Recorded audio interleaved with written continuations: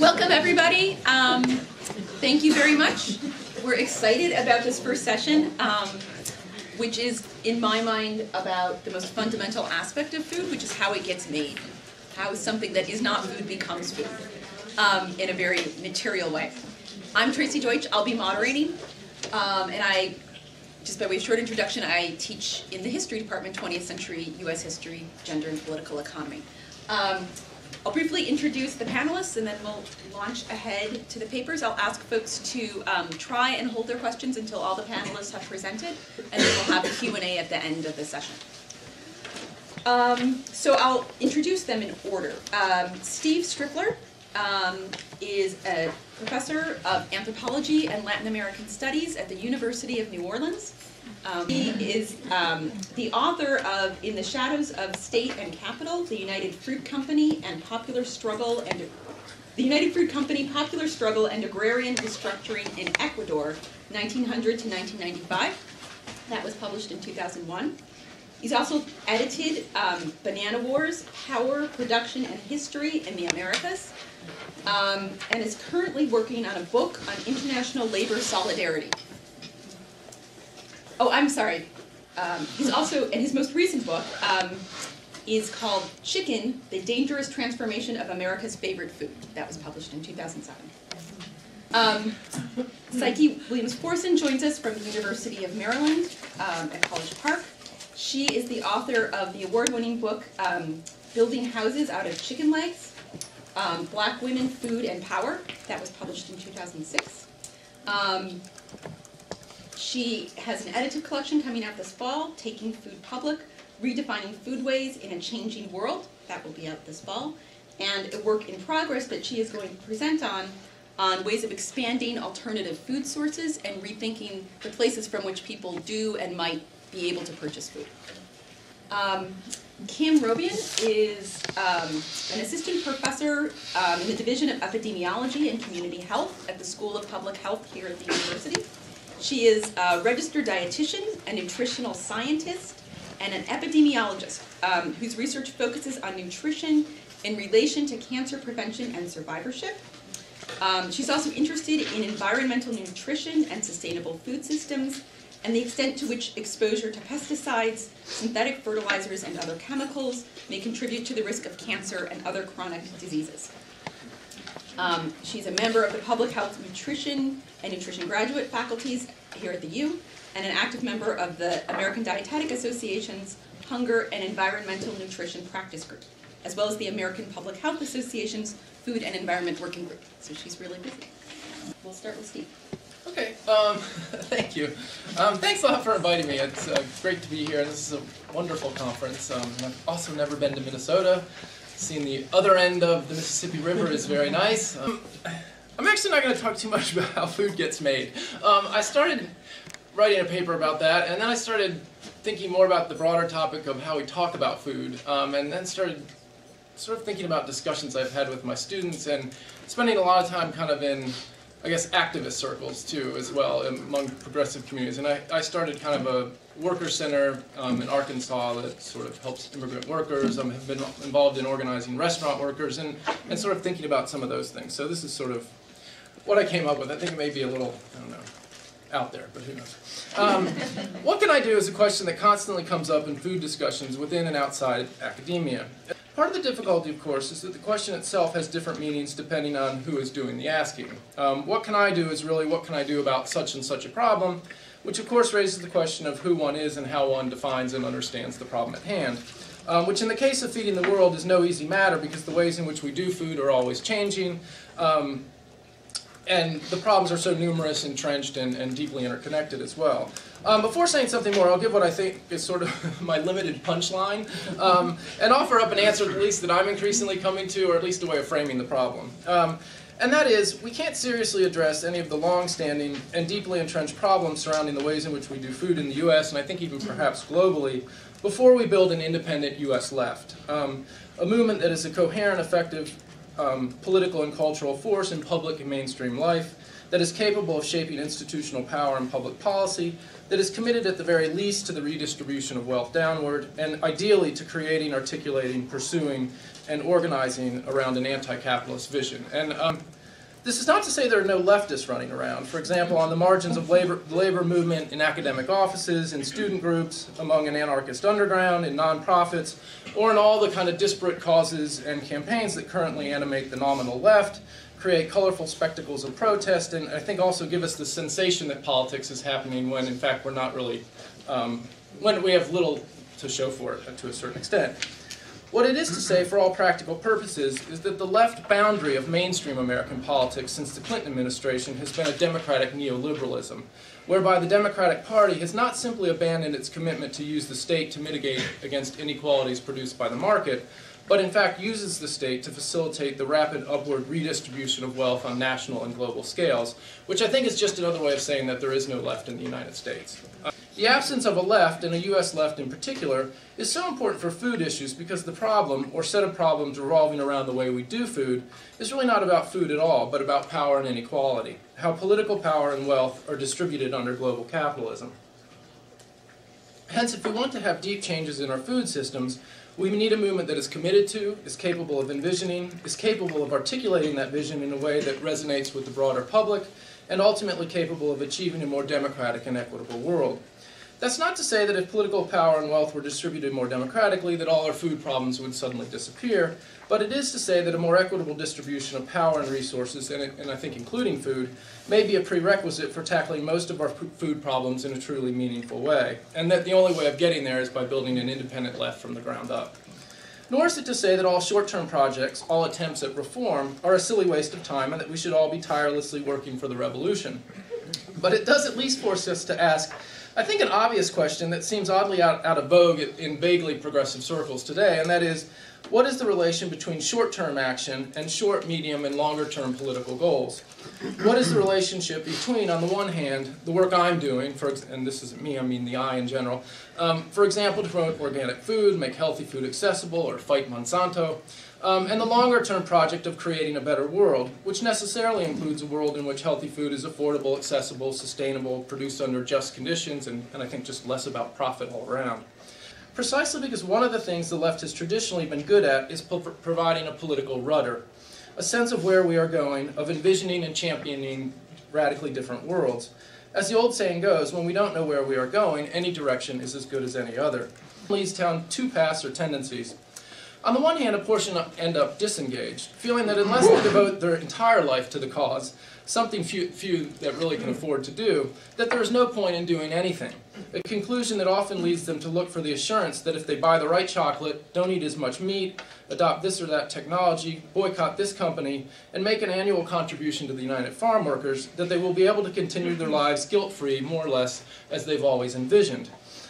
The second tendency, and I'm going to overstate this a bit, but the second tendency is the polar opposite of being disengaged, um, or roughly what Liza Featherstone, Doug Henwood, and Christian Parenti have called activistism. Um, an anti-intellectual, hyper-pragmatic emphasis on acting, acting without analysis, where action is privileged regardless of its value, impact, direction, or connection to political aims. It can be found in local food movements, in a global justice movement, which often promotes the idea that the world's food problems will be resolved once all produce is locally grown, and among NGO and nonprofits, which, for whatever wonderful work they are doing, and I've been doing this myself, um, are ultimately in the business of selling press coverage of themselves, of their actions to foundation officers. And uh, again, I've done this myself. Um, act now, think later.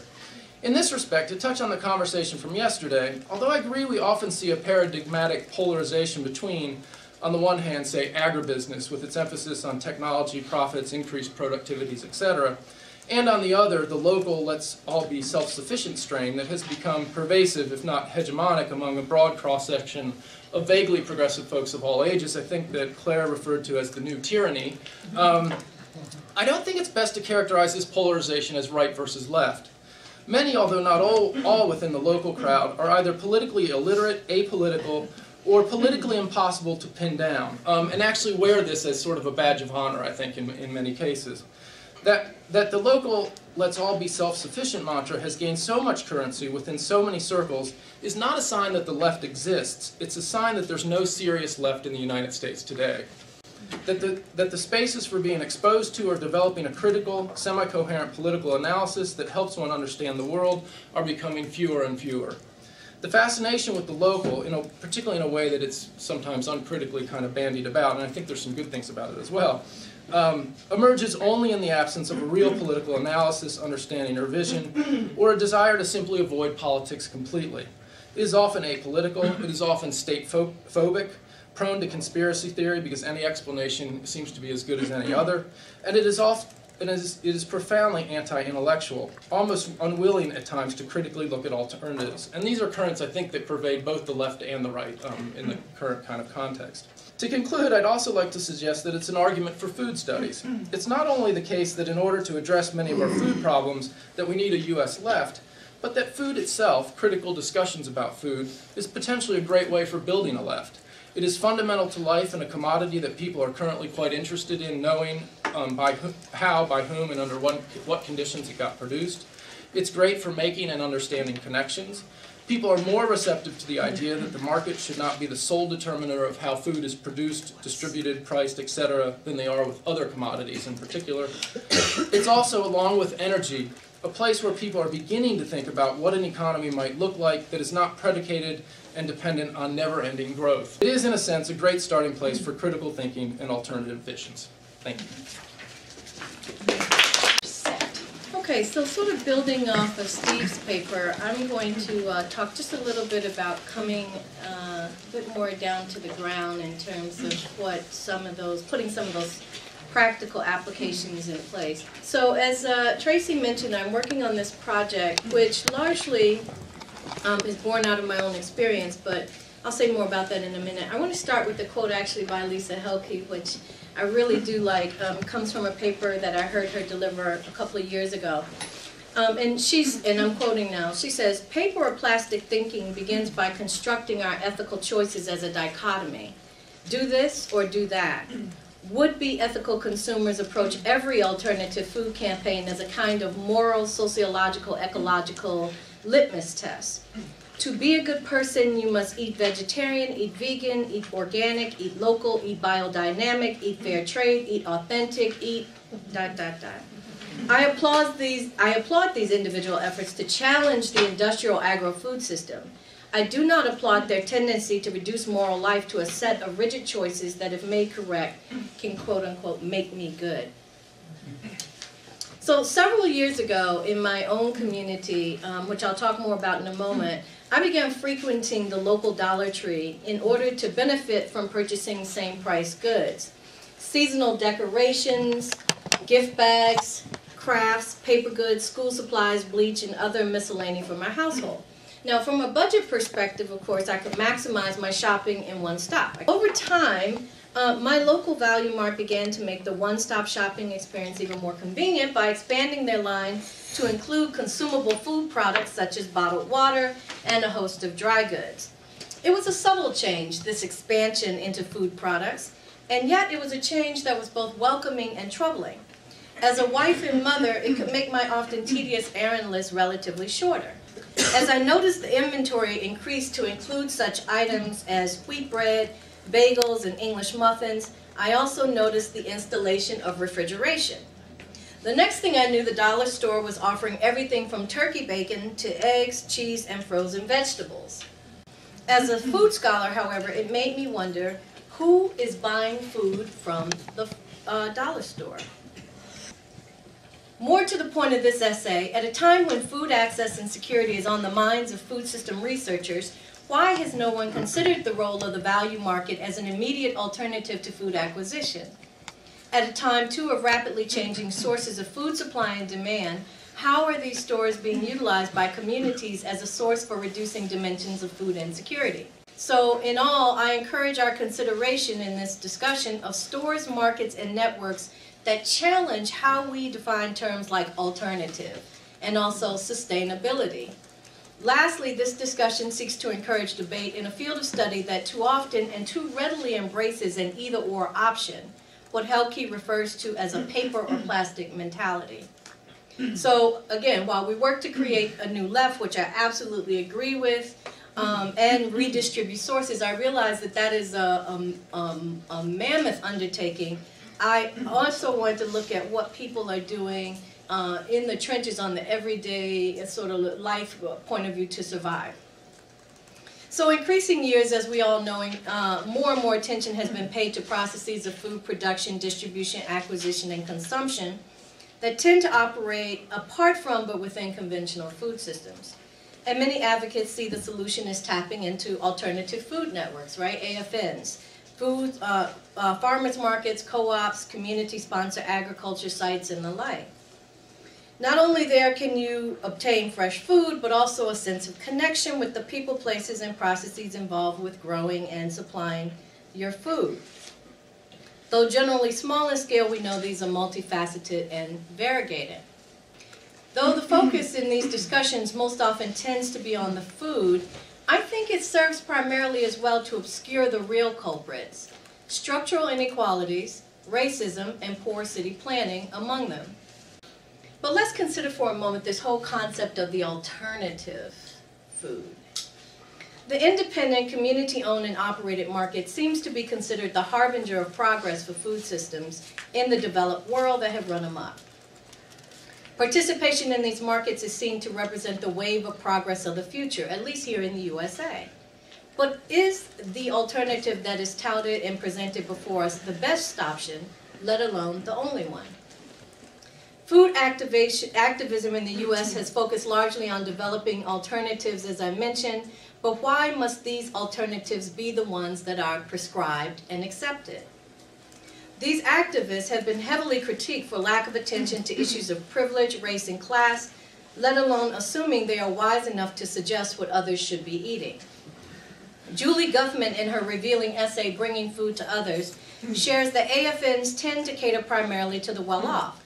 They offer, as we know, for example, niche products.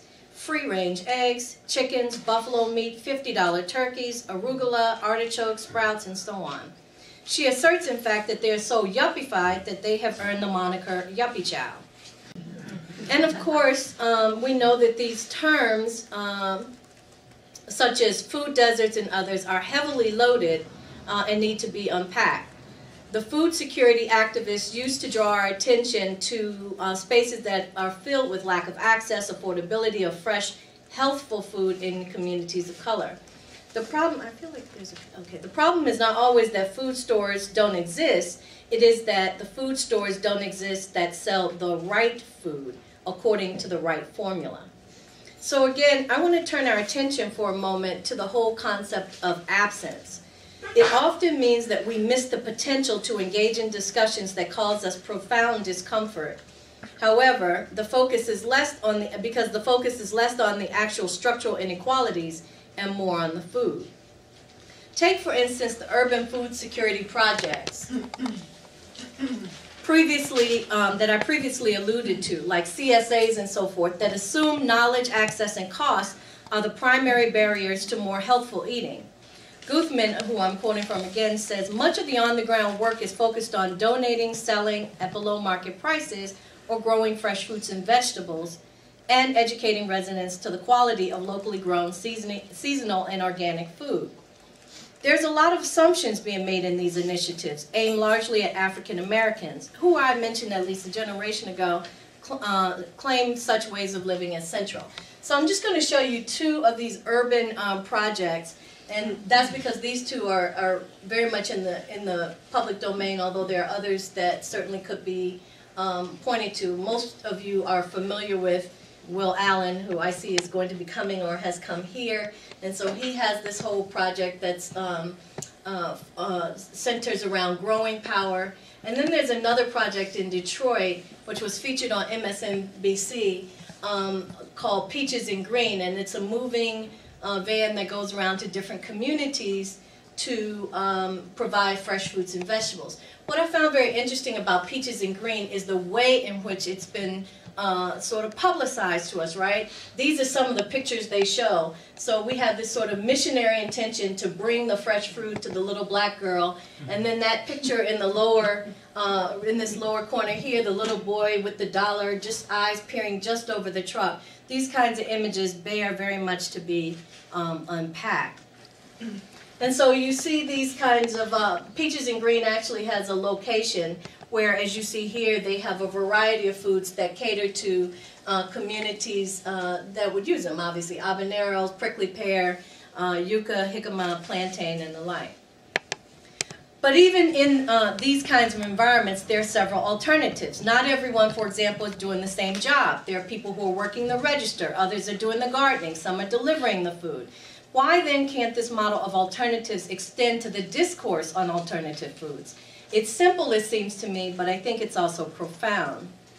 One of the things that mm. ends up happening is we have this discourse that begins to ask the question, that begins to form, be, that is formulated in such a way that it really focuses the question, according to Julie Guthman, on why blacks don't participate in these kind of alternative food movements. What Guthman suggests is that we reframe the question to not why blacks won't participate, but why is there white desire to enroll black people in a particular set of food practices. Clearly we know that some blacks are involved in the kinds of alternative food networks that I've mentioned, just as there are some whites that are not, and other ethnic and racial groups beyond. But discourses tend to see a white subject and black other when it comes to the concept of alternative. I wonder what happens when we expand the concept of alternative food networks to consider networks that are formed in other ways around different kinds of access. Jeff uh, Romm helps us to see this more succinctly, particularly as it relates to the notion of putting your hands in the soil.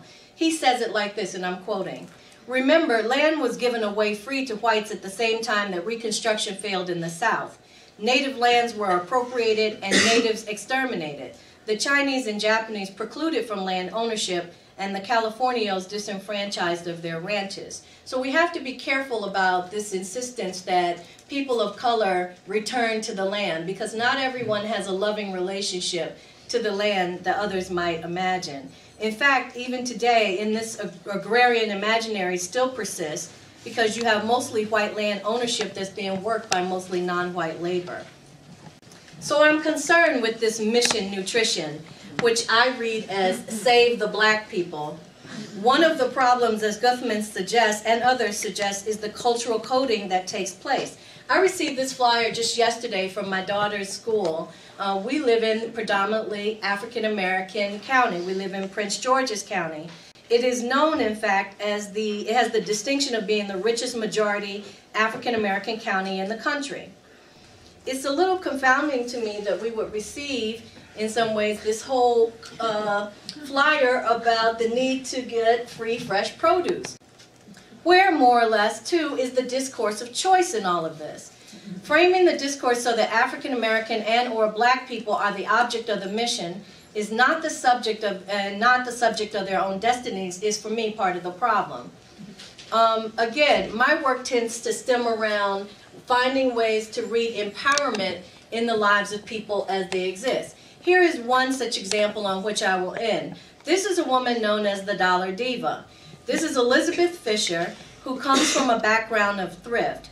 She, right now, takes care of her 88-year-old mother, and they live in Philadelphia. Um, Elizabeth shops at dollar stores, and what she found was when she was going there to buy all kinds of things for her mom, including spices and other things, she could actually make a delectable type meal on a very low budget. She put together a cookbook called Dining with the Dollar Diva, delicious menus with ingredients costing $1 or less.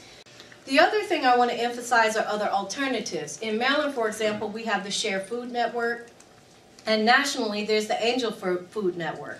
Also, we have food auctions. And of course, you have those underground sources that are illegal but that do provide sustenance to various communities. So I end where I began with my own experience, and I point to the fact that people develop strategies for making food choices, including sensory perceptions, values, money, convenience, health and nutrition, and others, in their own way. As Furst et al. acknowledge in their work on food choices, and I'm quoting, conceptualizing food choice is a complex process with a range of influences and values that are negotiated differently by diverse people in a variety of settings.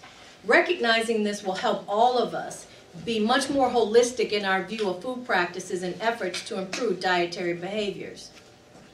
If in fact our goal is really to improve life ways of people and assist them in ensuring access, that will uh, heavily, then we need to heavily consider people's life courses and decisions that are best for them, their values and desires.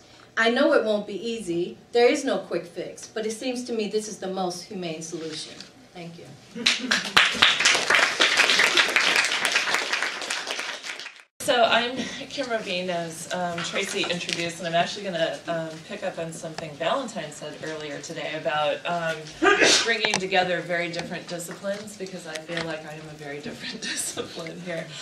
Um, but I think we've had a really nice transition of ideas, and actually I'll pick up on some of your ideas as well. Um, um, so, as Tracy said, I wear a lot of different hats, and depending on what day it is and where I am, I may tell you I do a different thing, and maybe we all sort of do that. I'm formally trained as a nutritional scientist, and I have to say I probably feel a little bit more comfortable talking about nutritional biochemistry, which isn't actually what we're going to be talking about today. Um, but I'm also a registered dietitian. Um, I have spent many years working with various different patient populations, especially people who are going through cancer treatment. So that's where a lot of my interest in food systems has come from. I'm an epidemiologist, which doesn't mean that I study uh, skin diseases, which a lot of people think that's what that means. It means that I'm interested in the causes of disease and how we can work to alleviate disease. And I'm also um, primarily a cancer researcher, a member of our cancer center here at the university.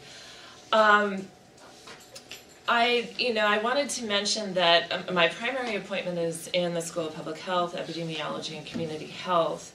Um, but I'm also a member, our university has an interdisciplinary nutrition graduate faculty, so I do interact with colleagues in the food science and nutrition program here in, um, on our St. Paul campus and the broader nutrition community within um, the university. But I wanted today to kind of wear the public health nutrition hat and talk a little bit about that field and so um, where my nutritional science colleagues might be more um, primarily focused in sort of behavior, um, I'm sorry, basic science um, and human nutrition types of nutrition issues, public health nutrition really focuses on um, nutrition of the whole community. So looking at um, somewhat of the dietary needs of individuals, but as a community as a whole, on issues around food production, distribution, consumption, um, and how that affects nutritional status and the health of the community is really um, where our interest area within public health nutrition. Um, um, I want to talk about some emerging areas too within public health nutrition um, that our faculty are involved in, but definitely our students are really, really interested in. Um, global health. We have a global health concentration within the School of Public Health, um, and our public health nutrition program just became an approved Peace Corps Masters International program. We also have a lot of students interested in what I call environmental nutrition and sustainable food systems and how that relates to health. Um, and I would say that my interests really do lie in what's what we're calling environmental nutrition. It's a little different than what you might call what we the term that we use the food environment to talk about what's available to an individual in terms of food availability um, but environmental nutrition really focuses on what effect the environment and the environmental health has on an individual's health. I'm really interested in how chronic low level exposures to um, environmental contaminants, especially through food and water, um, might contribute to our risk of our our risk of disease and especially obviously cancer in my case. And then the potential interactions that actual nutrients in the diet might have with those environmental exposures. But I wanted to talk a little bit about how public health nutrition sees the intersection of food system, uh, food systems and health. And I would say that our real focus in this is on the health aspects of the food, um, obviously.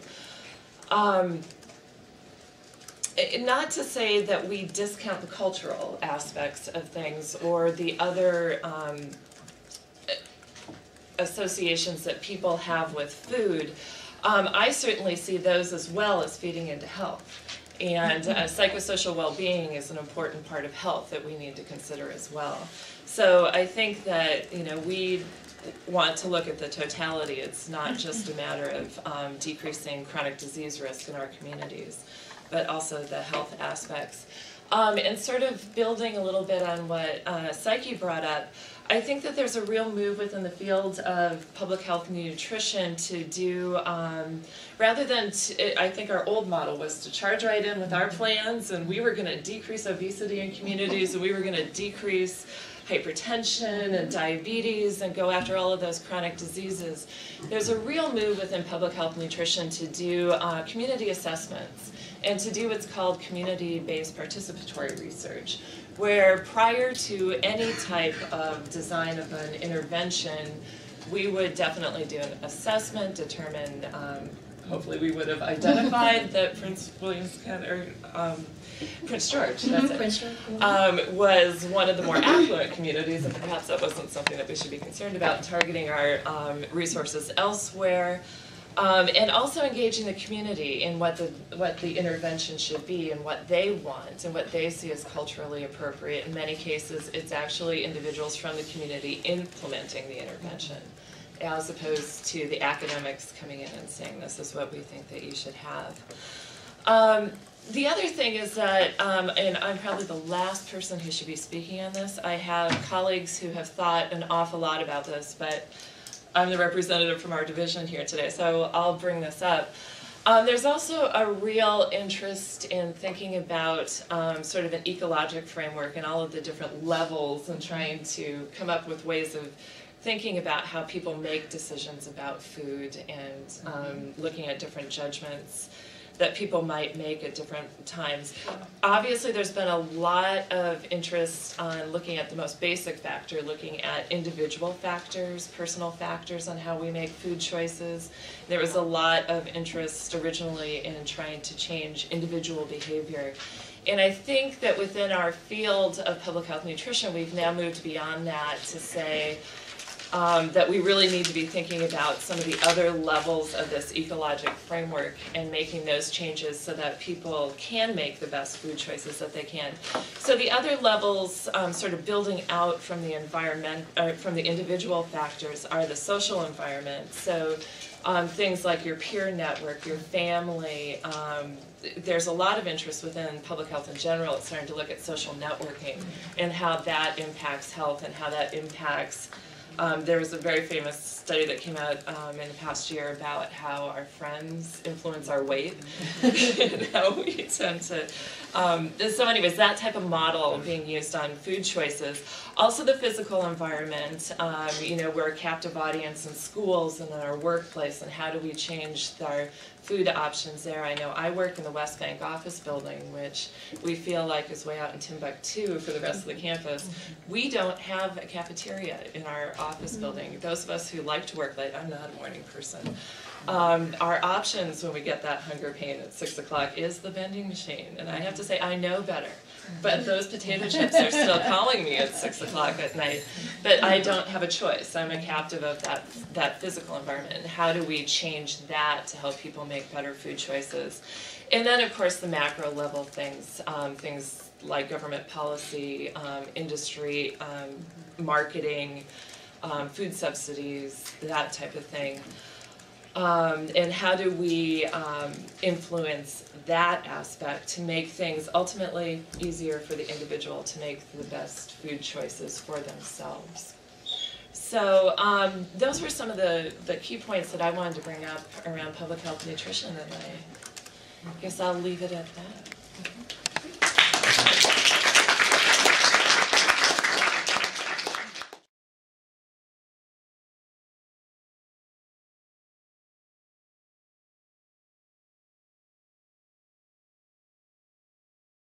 I wanted to have a session where we where we could start out by talking about the labor that goes into creating food because I think that that really makes contingent a lot of the things that we think of as non-contingent in a lot of different systems around um, impoverishment, around uh, class, around gender. That if you look at the the sheer work, the labor of getting food into people's houses and of making something that is not yet food, whether it's meant to be or not, something that, that people eat, that suggests a lot of the points at which these large systems are, are disruptible and, and constantly disrupted, necessarily unstable and disrupted.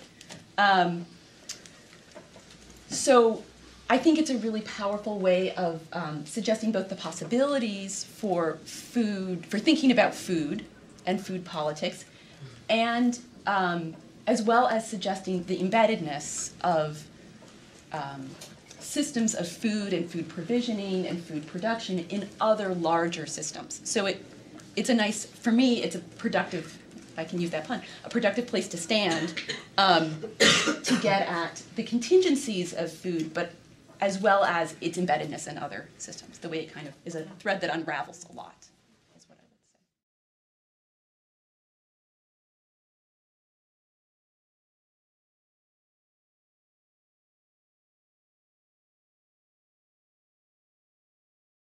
Yes, you're right. But while we're dealing with the wrong, people still have to live. So my concern is, while we are trying to make those macro changes, how do I help the low-income people in my church, for example, deal with this economic crisis and get food on their table this week? And so if my job then is to say to them, if you have twenty dollars, let me show you how you can make some good options at a dollar store. Let's say you buy canned tomatoes. What can you make with that in order to feed your children today? I can't, and they can't wait until we change the food system. Okay, I understand corn has problems. I understand chicken has problems. I understand all of that. But you cannot say that to a hungry person. You cannot tell them you can't eat those beans because they may have too much sodium. Mm-hmm. And I understand that there are health consequences on the back end. So how do I help them then maybe rinse the beans or find some other ways to do what they have to do? Because my concern is helping people where they are right now. So then that may mean you have to get out and walk a block or walk your kid to school so you can work off that sodium or what have you. Maybe that means you have to buy bottled water and not drink the soft drinks. But I have to help people, I think, in my work, deal with right now. Because they can't wait until we change the food system. African American people could never wait until the macro took place. we had to do what we had to do. We couldn't sit and wait for somebody to bring it to us. When we left enslavement, we had to walk and find our families. If we waited for people to help us do that, we'd never have found them. So my concern really is more about, and not just African American people, all people, not just poor people, middle class. How do we help people right now, right here, make informed choices so that child does not go to school during the week of MSA, the Maryland State Assessment Test, and be hungry and can't take her test and do well because she has no food? So that would be my concern. Um, and I understand the choice is not always a good one, but my belief is let's make the best choice with what we have right here, right now. But, and just to follow up on that, what we've actually learned in nutrition counseling is, it's sort of, you really need to address Maslow's hierarchy of needs. Mm-hmm. Unless you've taken care of the immediate, Mhm. you cannot, there, people just are not receptive to the long term. Mm-hmm. And so it, it is a struggle. I mean, there's finite amount of resources. Mm-hmm. Public health programs are always underfunded, understaffed, and where do you dedicate the most? It really is the here and now. and you know, finding time to do all of these other things is sort of an extra. And um, I worked uh, as a, or I was a director for quite some time of, um, I guess I should say I was on the board of something called the Chicago Consortium to Lower Obesity in Chicago Children. And um, they would talk about uh, the ecological model of health quite a bit, where you sort of start out with the individual, stand up, and you go out, and uh, around that's the family, and around that is, in terms of explanation, is the community, and then it goes out to social structures. And, you know, oftentimes the interventions were in here on the individual, but sometimes they go up. And a lot of times, the idea of doing CBPR, of doing community-based research, is about trying to push that. And um, again, the critiques may not be as, I guess, deep as as we in social science are used to talking about, but the fact that um, that that scientists are doing this I think is really important. And I think is a, is a, is a place for connection.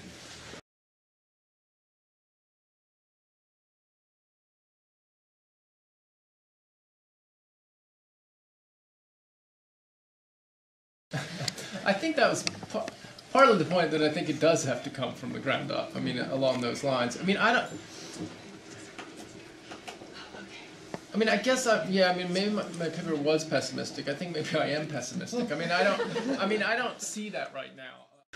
I mean, I think there. I mean, I think food. I think can do what you say it does, which is that it, there can be this process of politicization, and I, and I think on some level that's kind of like the question is, how do you make the small projects, like the here and now projects that have to be done, how can those be a political experience for people on some level? Because, I mean, there are here and now projects that have to be done, and there are here and now projects that are silly that don't need to be done. And we spend a lot of time on those, and they don't move us in a political direction. And then there are other ones that don't seem political, um, but that I think often have the potential for awakening something in people. But I also do think that there's a powerful current of of apolitical, um, state phobic, um, anti-intellectualism that's running through um, many circles. And I, when I say, and I would say what I consider to be people that I would hope would be progressives, or that I think when you initially start to talk with them, I would say, wow, this seems like a progressive person, and then the conspiracy theories start to come out, or the, I mean, and I see that a, a lot. I, I mean, I. I mean, maybe it's I don't you know maybe I'm not maybe I'm not optimistic because I live in New Orleans and I work in Columbia, um, but you know not like places the hope or, you know. But I mean, I do agree that that's sort of where it kind of has to come up. I do also think though that, um, and this is where I think like like intellectuals play a role, is that there does need to be some like broader envisioning or like a, a, a sense of getting alternative visions out into a public discourse in a way that they're really not right now. I mean, if you if you sort of ask like like like for my students, it's like where would they go to look for um, you know, you really have to look hard in the U.S. right now for something that you could tap into and would say that that's sort of a left discourse. I mean, you it, it's not sort of readily available, and neither are sort of the avenues for activism in a way that they were, I think, in, in the past. And so there's a sense of having no sense of which, which kind of direction to go. And I think the internet doesn't kind of help this on some level as well. I mean, there's all sorts of things, but I mean, I think it's definitely ground up, but I think there needs to be like people making connections between, okay, how does this local project fit into some sort of broader political, you know, project or vision? Because it, it, it's amazing to me within progressive circles how infrequently what seems to me is an obvious question isn't asked, and it almost makes me nostalgic about like that's all the left used to talk about. They never used to act. I mean, you used to have these sort of you know the Trotskyists versus the Maoists. I mean, that sort of, an, but but that and this sort of fetishism of analysis. Now it's sort of gone the other way, I think, on some level, and that's I think troubling. Anyway. I struggle with in this whole thing is I totally get the here and now and that those needs have to be met. But I also, the whole like, the role of the corporations and the role, I, you know, I don't know that agricultural scientists really have as much leeway. There's not all that much money out there to do um, research on things that aren't funded by Monsanto and Cargill. And I've sat in meetings with high-ups of, in this own university who say the next place we need to go to get more money, because we aren't getting public money, is to Cargill and Monsanto, and I just cringe, and I think, you know, sitting last week in meetings with some of, you know, some of the people who are really trying to take on some of these big powers, and feeling like even the USDA is kind of cowering to, um, to these forces, and it's, you know, I, I mean, we have to do both at the same time, so, but there doesn't seem, I mean, I, you know, I, at the, the, the organic, Moses Organic Conference, there are people who've really, really been thinking about this and have been talking with people in Washington about how do we change this, how do we get rid of, you know, how do, how do we go back on the GE alfalfa, if you all are all familiar with that, when it's been pushed that now genetically engineered alfalfa um, is, is unregulated, and, you know, the farmers I talk to, is you don't even, you know, need, you don't need to spray alfalfa, alfalfa is one of those things, so it's just so complex, and I'm, I think I'm, I used to be so optimistic, but it's, it's, it's such a big problem, and it doesn't really seem like how do you get the wheels turning and, and it's, it's a power thing, I mean, it's the corp, I kind of feel like there are a number of corporations and people who have so much power and the rest of us, um, really don't have a lot and I'm looking for the way of, of how, how, you know, we do bring people together to get some power to make change.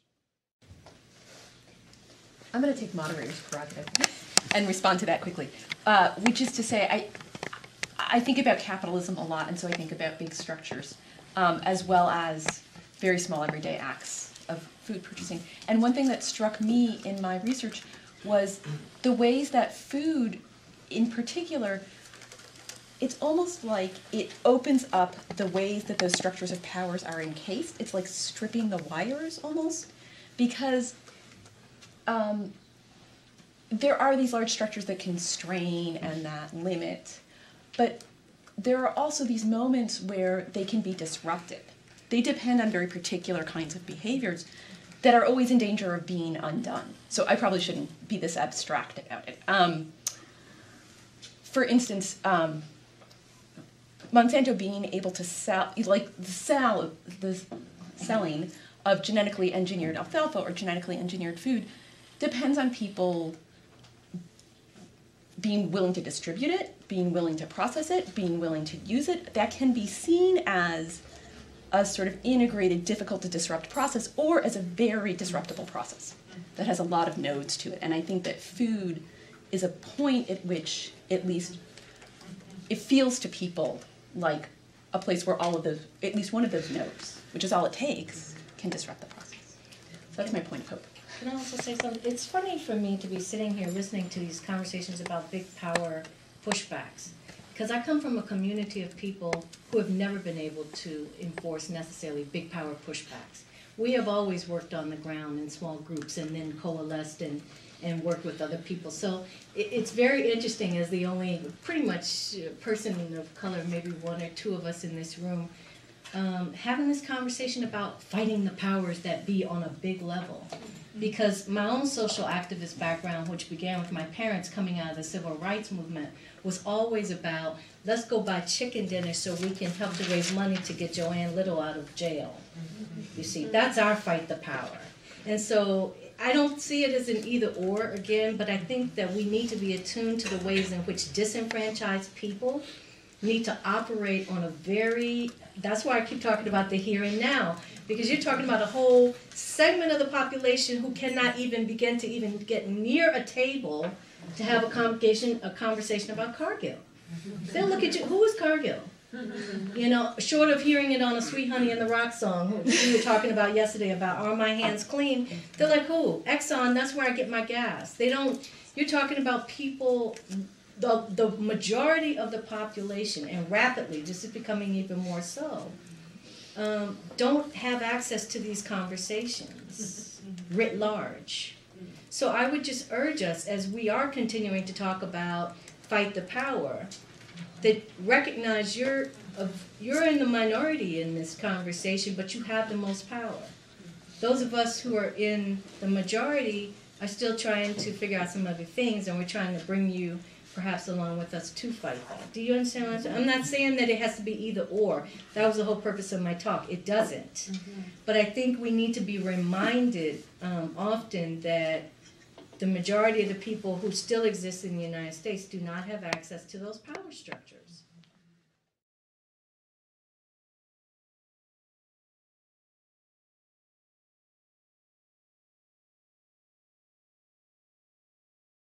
I think that you're certainly right, and, and this is the pro, this is part of the complexity also. Some of these issues have regional variations. Um, because one of the things I didn't talk about in the interest of time is in um, our county, we also have an, an, an increasingly um, growing by leaps and bounds multinational population. So we have a whole community of Salvadorians, you know, Mexicans, so forth. But what's also cropping up are these specialty stores, which is for me another issue of the alternative food network. Um, my sister-in-law, because my husband's from Ghana, owns a African Caribbean Latino market. That's how they are. there because they because we all share the same foods, right? Right, right. So these are also places where people are going to buy their yam and their prickly pear, like I said, and their kenke and you know, fufu. But now we're seeing places like Aldi, and pretty soon probably the dollar store is going to be stocking that. So you know, I mean, there's just it, it, it's it's a just a mixture of options there, um, and, and this is expansive, I should say. Um, so I don't know about whether or not those spaces are are any more in in some cases disciplined or regulated than some of the smaller markets that you go into where you start to see some of that taking place as well. I don't know. Again, I, this is why I kind of have problems with the either or because there's so mm-hmm. many different variations and there's no consistency in terms of across the board this applies. There's just I just don't see a one size fitting all with the food discussion.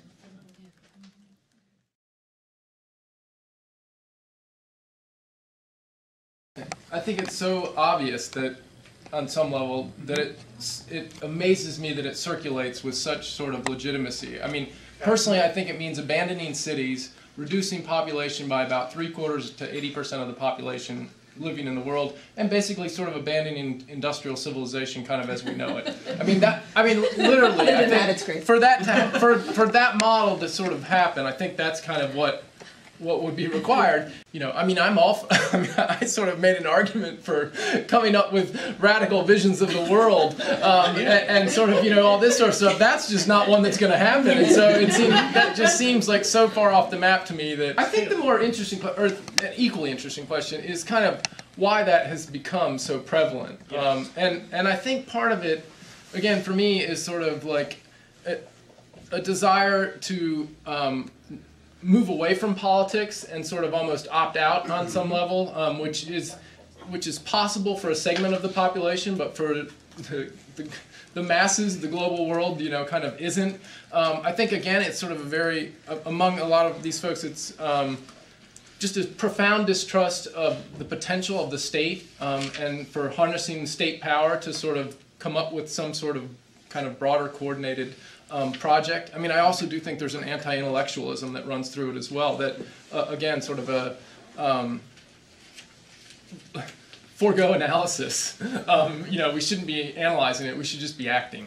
Um, and, and that's sort of part of it. But I mean, I, I suspect other people have other ideas of why it. I mean, I think it circulates within progressive circles. I think it circulates within academic circles. I think it circulates at any farmers market that you go to in the United States. I mean, I think it, it's it's you know it's not. Um, a, I think it circulates around within some of my close friends who are very very smart people. Um, I think. I mean, I think it's very pervasive um, in in that sense. I mean.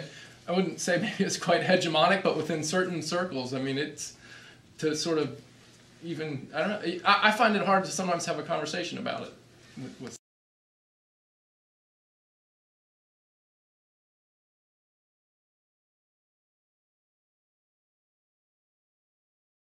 Maybe I'm, again, not the best person to do it because it's not my area of expertise, but I, I know a lot of my colleagues rely on the USDA Food Atlas data sets that are available. And, you know, I think there's, I think we all recognize that there's errors in the data that we have and it's a matter of refining it and who has the time and who has the money. And is USDA um, applying resources to improving that? I don't know. No, I mean Jerry and I talked about this yesterday um, because I, I- the other work that I'm doing right now is on underground economies and women who provision food in those spaces. Um, in this article I just wrote about other women cook for my husband because I was not. Um, I, one of the examples I give is driving across town to the to the woman who makes the watches.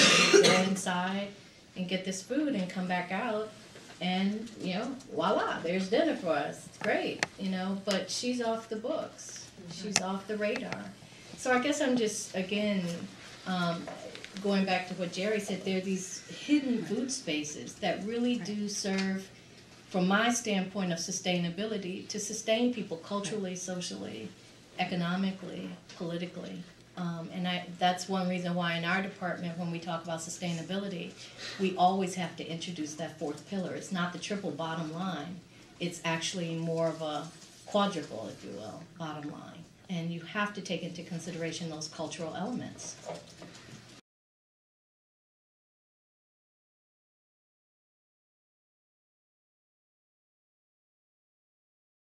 That's my point. I think we should not, uh, uh, my concern is that we not bow to the altar of one prescription over another, but rather that we embrace all the options. That's, that's my point. Let's just expand what alternative means. Alternative could mean that I'm gonna do this versus doing that, or I'm gonna do a little, a hybrid of both. Yeah. I'm gonna jump in and reinforce that point by, with some historical perspective, because poor people, as well as some middle class people, have always done that. Only at the It's turn of, one or the other. yeah, at the turn of the nineteenth into the twentieth century, that was a problem, and they got arrested for growing gardens mm-hmm. where there were supposed to be parks. Let's back it up even earlier, during Sure. periods of enslavement. Right.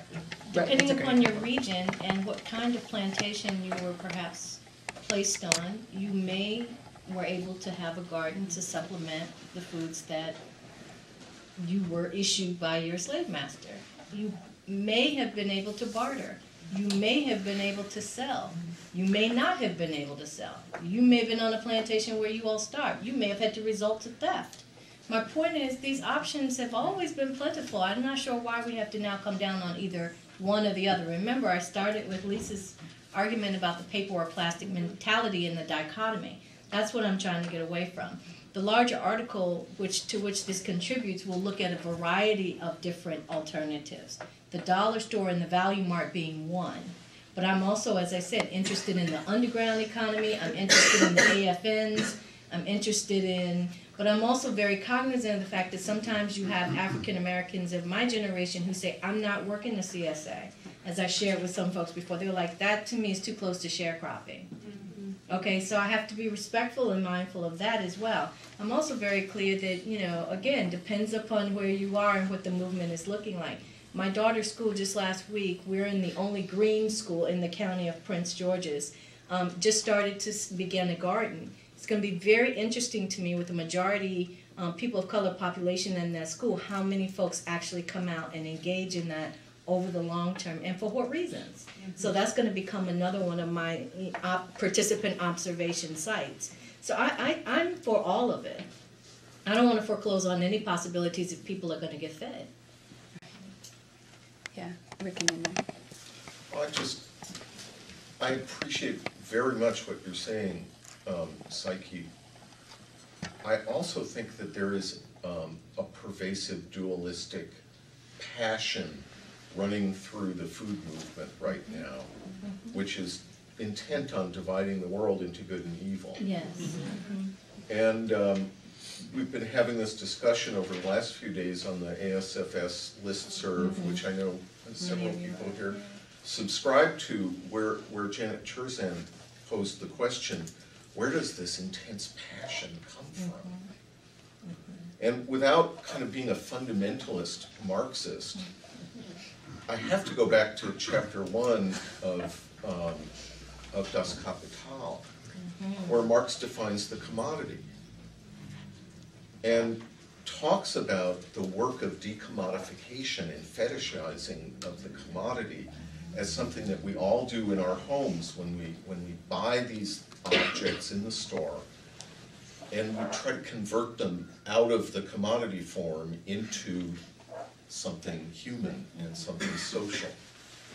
And it seems to me that this is part of the passion that's driving this movement is the desire for something beyond commodities, for something that's meaningful and has qualities mm-hmm. rather than just a price. Mm-hmm. And it seems to me that the lack of a left in a labor movement, a critique of capitalism, is directly related to the passion that people have for a non-commoditized food and for an alternative to the things that they buy in Walmart. So that even when Walmart bows down and says, okay, I'll give you organic food, okay, I'll give you local food, they're missing the point, which is that people want really organic and local as a, as a commodity. They want to get it from they want it decommodified before they consume it. And, and I think that that, we have to kind of pay attention to that, that passion, because it's, it's there, and it's very, very strong. And yeah, sometimes it's misguided, because they're not, you know, going in the direction that we think they should be going. But I think that the, the passion, if we can understand it, is immensely powerful. And I think the po- political leaders in this country just have no idea what's going on at that level. They, and when it comes, when it starts to hit them, it's going to come as a complete surprise. So, Yeah. you know, I, I think that's, that's why I'm more optimistic than, um, than this panel it has, it- I mean, there's a lot of very big structural issues, um, to deal with, but I think that, um, we can over intellectualize it a bit too much and, and not recognize that there's a, an immense groundswell of, of, um, of power, unfocused, not particularly, it's not the old left, but it's, it's, uh, I think it is going to go somewhere. There's something there about identity and tying it to kind of political action, because part of the problem is when it's just individualized and, you know, it's everybody's own identity, or various people's own identities, you know, it's problematic, and the question is, how do you politicize that, and how does, you know, how, where, when, how do you get the analysis to come, you know, to come to bear on that passion, you know, that a lot of people feel about, and I think you really hit it on the nose with that question, you know, the, your analysis of the decommodification thing, I think that's absolutely right. Because there's, that's what's, why there's so much energy around this, no matter how problematic and elitist and, you know, and it is, you know, and there are a lot of crit- academic critiques we can do of it, and we do. Um, but, I mean, there is also political, there's energy there, and somehow it's gotta be, uh, recognized and organized, and seized. But in the words of, of some of the best gender studies, the personal is political, right? Yeah, yeah, yeah. So we gotta remember that as well. One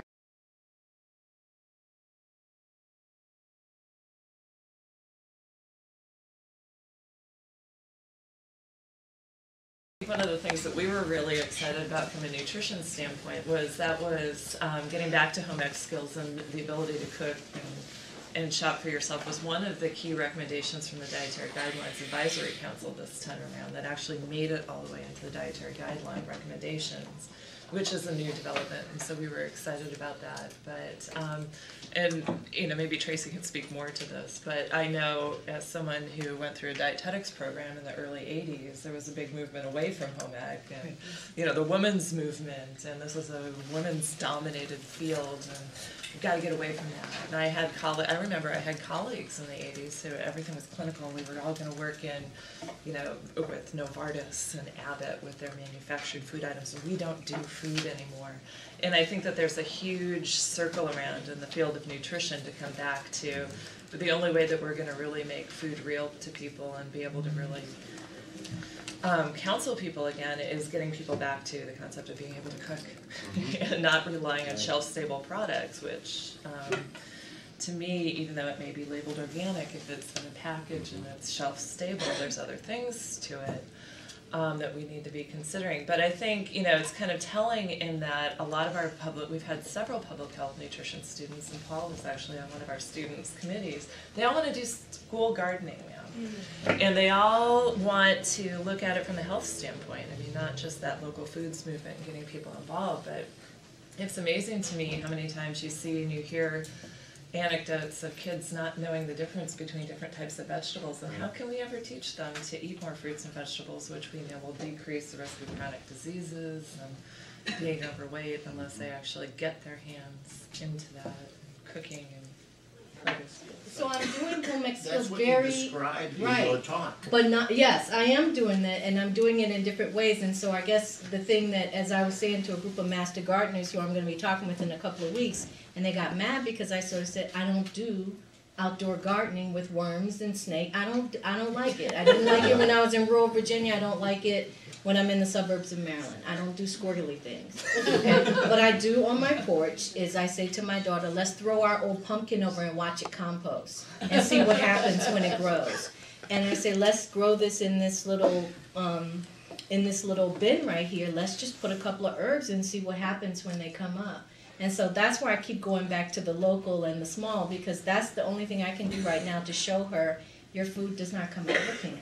You know, it comes from this place and comes. I don't have time to bring a chicken snack. You know, but and I'm not saying that facetiously. I'm saying, but that's the kind of pushback I feel like you get sometimes from these groups. Like this gardener woman got very quiet, and she was like, "Well, then you don't garden." I said, I container pot, whatever you want to call it, all right?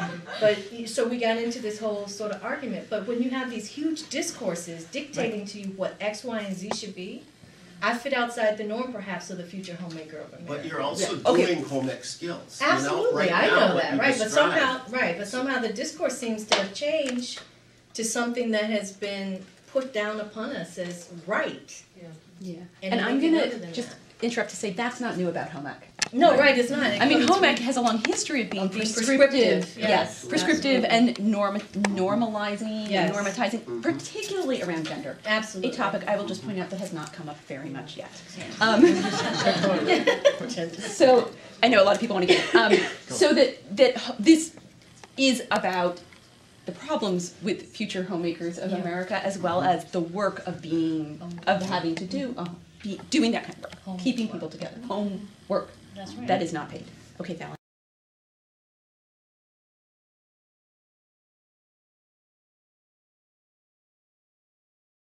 I mean, when I first started writing this paper, um, I actually think I was talking more about what you probably wanted, um, which was which was kind of the labor of production, particularly on banana plantations where I worked, and then I spent two summers working in a Tyson poultry plant and sort of talking about about that. And and it, I mean, I think it's a great educational tool for kind of talking about all the absurdities of agribusiness. Um, you know, from I mean, Tyson I think makes over 7,000 different chicken products, um, to all the awful things that go on in poultry plants, um, and all the awful things that go on on banana plantations for workers, which would get into gender and all sorts of things. Right. In the end, then, what I always get the question, and this has sort of been the rest paper, is like, what, what can be done about that? Uh, because those are industries that where power is extremely concentrated. Um, where I mean, there's the, probably nothing worse almost than the banana industry in the sense that I mean, they, if if you start some labor trouble on in Costa Rica, then they go to Ecuador. You know, I mean, they are really global and they move around, and and or you can say like with you know, poultry processing plant, well, we should work towards laws that slow down the speed of the production line. That would be certainly a thing that moves in the right direction. I mean, but all of those things, all of the things that I could come up with, which were practical sorts of things, are very difficult to achieve in the absence of a labor movement. Um, and and and I think, a, or a, a left that is is where the labor movement is very strong. Um, and so that like and, and that's where I was left. Like I sort of left. Well, I'm going to give this, but I think a lot of the people in the audience sort of know all the absurdities of agribusiness, and I, and maybe that's not necessary. And I and I don't come at this sort of from.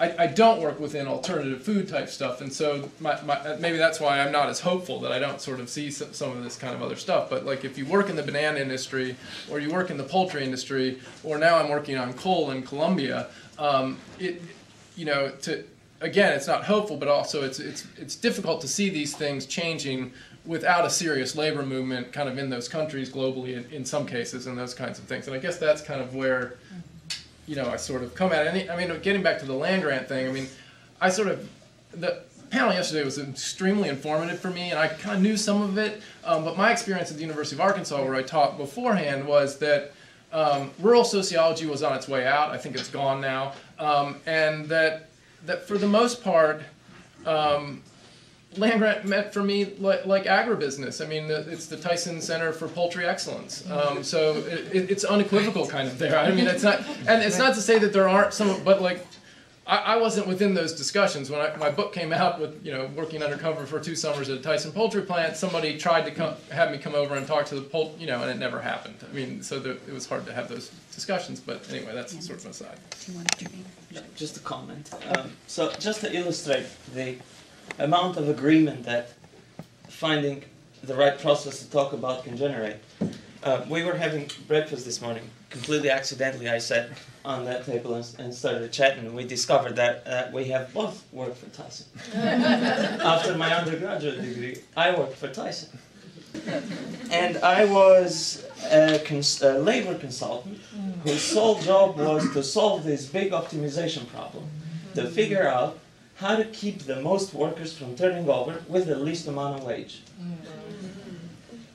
And even though I come from an entirely sort of different um, spectrum in terms of what I would like to see happen in the public realm, I completely agree with this thought. I mean, if anything needs to happen, it needs to happen through a central process that, that we all agree on, right? So on the outcomes, we're, we're going to disagree forever.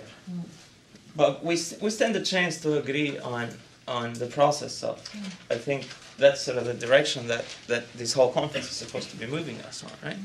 But what's interesting, I think, and then we were saying that industrial agriculture will have, will need a labor, you know, a labor movement, but isn't it really just the consumer movement? I mean, Wheaties cost five dollars a box, Yeah. when nobody buys five dollar box Wheaties. Um, you know, uh, bulk food, uh, is affordable, you know, and it's, it's upcoming. And I think your point, you know, that we can't feed the world, uh, on a local foods movement is true. But I think it's kind of an absurd argument. I think that the change comes from the fringe. If you take five percent of the market, what do you get? You get Coca-Cola selling organic tomatoes. So I'm thinking that this absolutism is maybe a little missing. I, I think you're trying to nibble at the edge, you're trying to change behavior. Uh, Tyson makes money, that's all they do. That's their purpose, they've commodified food. And they're gonna make a lot of money and they'll continue to. But as they, if their market share cuts, if they lose three percent, five percent, six percent, they change. maybe about five percent. Uh, I, I would give, I would hold out hope about five percent for consumer movements personally. I, I, I just don't think that they're going to bring about sort of the kinds of change that, that I'm sort of thinking about. Um, for uh, anyway, I'll just leave it at that. I mean, I think there are a variety of reasons in terms of the fickleness of consumers, and I mean all sorts of things that, yeah. But I mean, I, I think it has to come. I think it has to come from from sort of producers tied to consumers and consumers being sort of part of that. But I, I just think it, it driven by consumers, it, it But that's all, that's all they respond to. I mean, their, their profits are spent in, in subordinating government. But they just make different products. If you have an educated consumption, which is home ec, when I took it, um, you tend to buy different things. Okay. All right, that was wonderful. Thank you, everyone.